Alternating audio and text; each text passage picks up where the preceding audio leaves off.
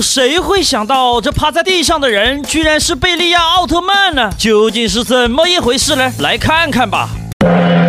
贝利亚躲在大山里吸收黑暗能量，眼看能量就要吸满了，他马上就可以去消灭人类了。哎，就在这时，只见一个巨大的火球冒着浓烟，直接向他飞了过来。啊！他当时大意了，没有闪，直接被砸了个扁。这球是哪来的呢？原来小赛罗和小奥特曼们在踢球，结果小赛罗一脚把球踢飞了，球飞了半个地球那么远，直接砸中了贝利亚。认为小赛罗溜的就扣三朵鲜花。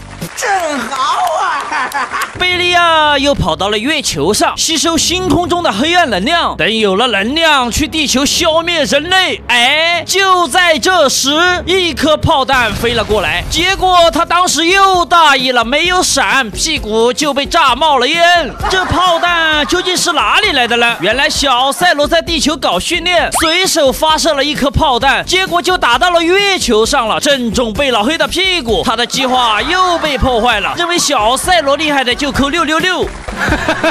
贝老黑真是郁闷极了呀！小赛罗简直是他的超级克星。于是他开着飞船来到了火星，飞船刚刚准备降落，突然几个光球就打了过来，他根本没有反应过来，更不用说闪，直接就是灰头土脸，飞船也嗝屁了。原来小赛罗在地球练习奥特光球，不小心把方向瞄准了火星，认为。贝利亚活该的，就给他扣三个狗头吧。